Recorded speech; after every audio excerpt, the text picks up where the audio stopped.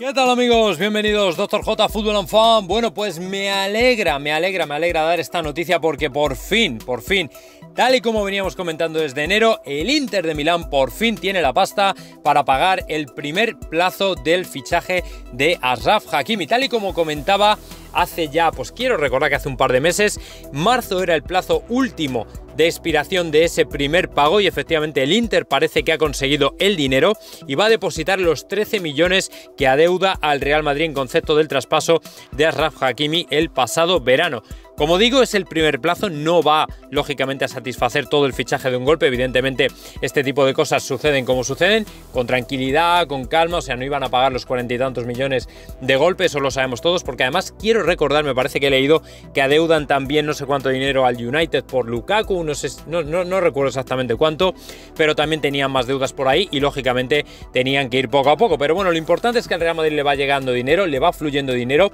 y lógicamente si le quitas estos 13 millones, todavía le quedan otros 30 por cobrar del fichaje de Asraf Hakimi, o sea que todavía es un montón de dinero, yo creo que es lo mejor que podía pasar porque al fin y al cabo no creo ni que Asraf Hakimi estuviera pensando en volver al Real Madrid ni que el Real Madrid tuviera en sus planes volver a traer a Asraf Hakimi ni siquiera de la manera un poco como la prenda, como si fuera el jugador al que tienen que devolver por no haber satisfecho eh, los, eh, el dinero, el transfer fee que tenían que haber pagado al Real Madrid. No, quiero que en